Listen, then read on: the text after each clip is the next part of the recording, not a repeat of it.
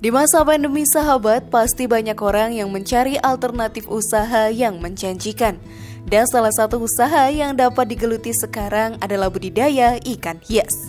Sekarang ini, ikan koi termasuk ikan yang sedang naik daun di masa pandemi. Sebab tidak sedikit orang yang terpaksa dirumahkan. Maka menjadi pembudidaya ikan cocok untuk dijalankan. Ada berbagai jenis kolam yang dapat digunakan untuk budidaya ikan koi. Namun biasanya para pembudidaya koi memilih kolam sawah yang beralaskan tanah. Karena jika dibesarkan di kolam sawah atau tanah, ikan koi relatif lebih cepat besar dan mengurangi resiko yang biasanya muncul di kolam beton, fiber, atau terpal. Untuk mengetahui lebih lanjut sahabat, kali ini kita akan jalan-jalan ke Desa Peranggang yang terletak di Kabupaten Kediri, Jawa Timur yang merupakan salah satu sentra ikan koi. Dan kali ini kita akan berjumpa dengan narasumber kita yaitu Bapak Juli Hartono. Beliau merupakan owner dari AB Koi Farm sebagai salah satu farm yang ada di Desa Peranggang. Mari kita simak langsung ya alasan budidaya koi yang dijalankan oleh Pak Juli Hartono ini. Tonton video ini hingga akhir dan temukan jawabannya. Berikut ini alasan pembesaran ikan koi di kolam tanah lebih menguntungkan.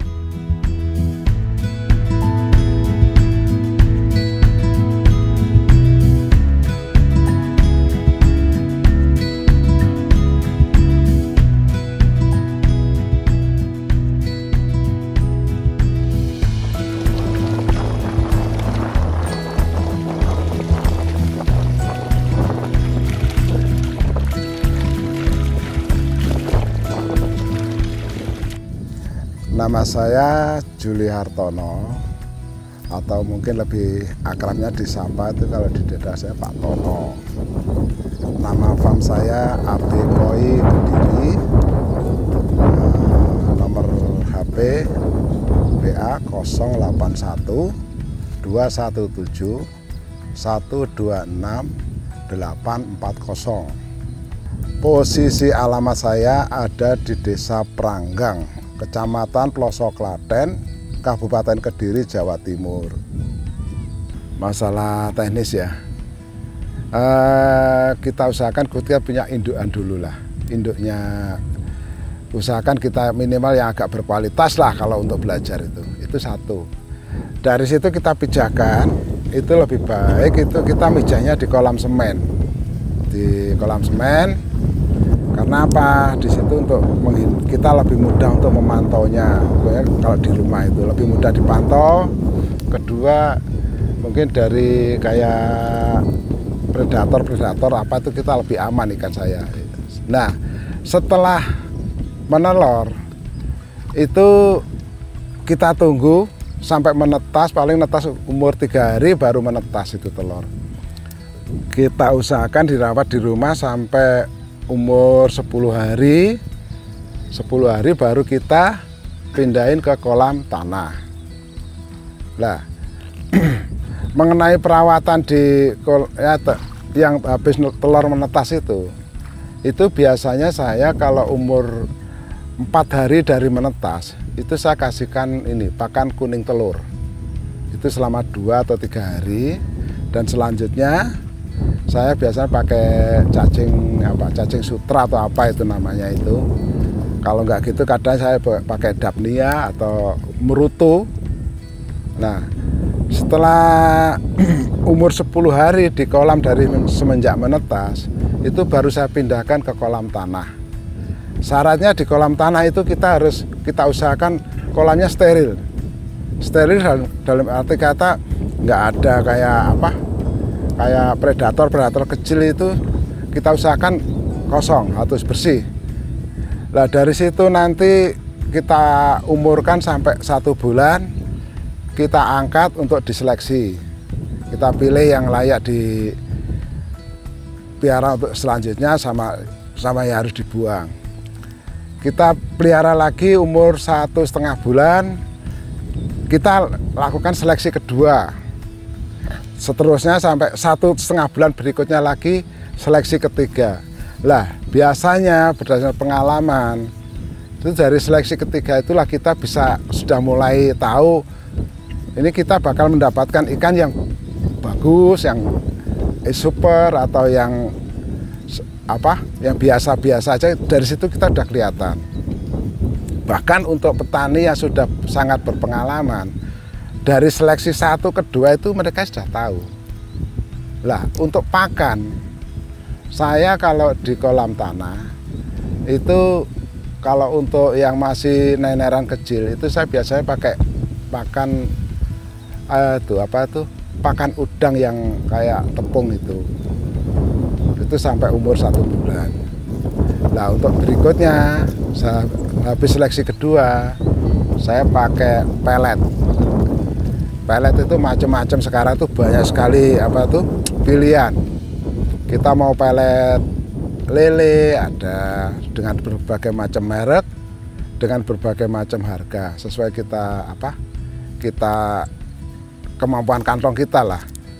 Tapi kita usahakan lah walaupun banyak beredar pakan lele yang sekarang ini kita usahakan cari komposisi pakan yang proteinnya minimal 30 atau 31 persen usahakan itu. Usahakan 30 syukur-syukur nanti ketemu yang 32 33 persen. Dan biasanya kalau protein, prosentase protein semakin tinggi harganya akan lebih mahal.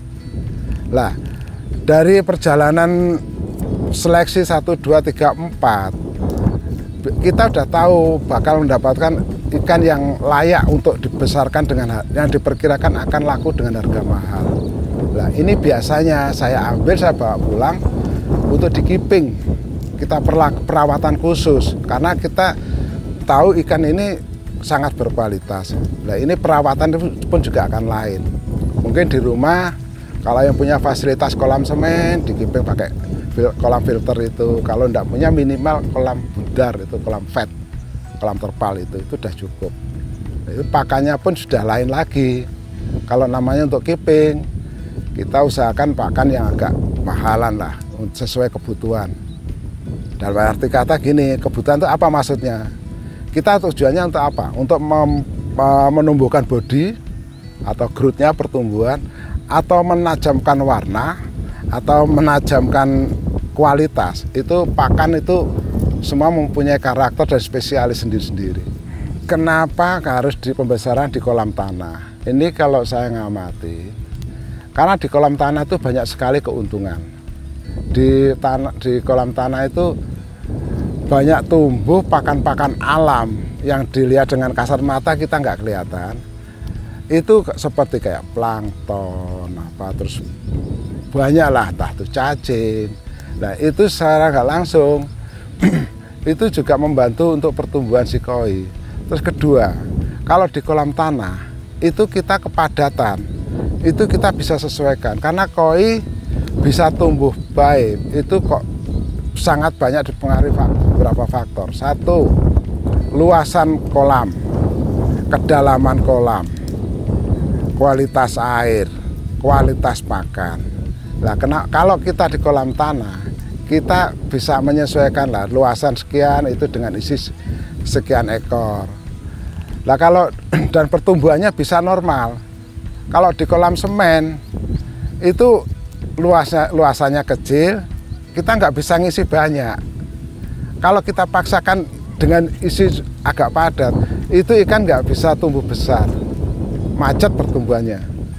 Walaupun dikasih makan yang bagus pun tetap macet lain dengan kolam tanah. Terus kedua yang paling pokok itu dari biaya. Kalau di kolam tanah itu kita kan semuanya gratis, air gratis. Tapi kalau di kolam semen kita semua mengandalkan listrik. Uh, kolam tanah itu uh, kayak pakan alam itu hanya apa ya sampingan. Tapi kalau namanya budidaya, pakan pabrikan tetap itu yang nomor satu.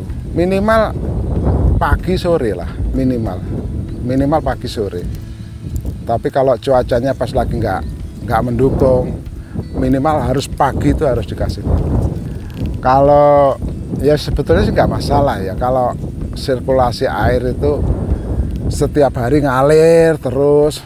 Ah itu biasanya kalau saya ya itu yang kita menyesuaikan kondisi kolam lah. Ada kolam yang minta di apa airnya mengalir terus.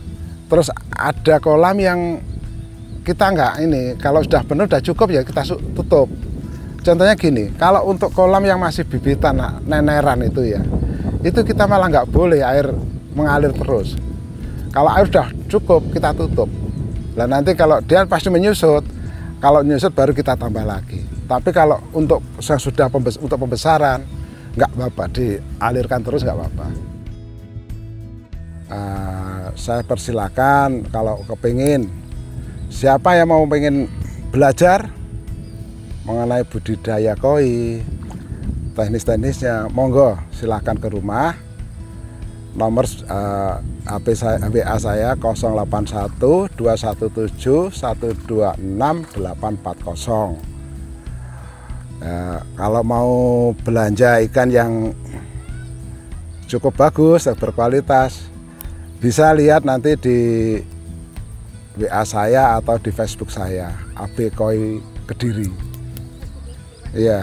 Mungkin kalau mau datang langsung ke tempat saya di desa Pranggang monggo silakan datang. Kita bisa sharing-sharing sambil belajar. Eh, demikian tadi sekilas tentang budidaya koi di AB Koi Kediri Uh, kurang lebihnya mungkin ada saya masih ada banyak kekurangan saya mohon maaf. Tapi kita tidak lepas untuk selalu berusaha untuk belajar dan belajar. Monggo kalau uh, mungkin ada teman-teman yang pengen belajar barang-barang kami silakan. Sekian wassalamualaikum warahmatullahi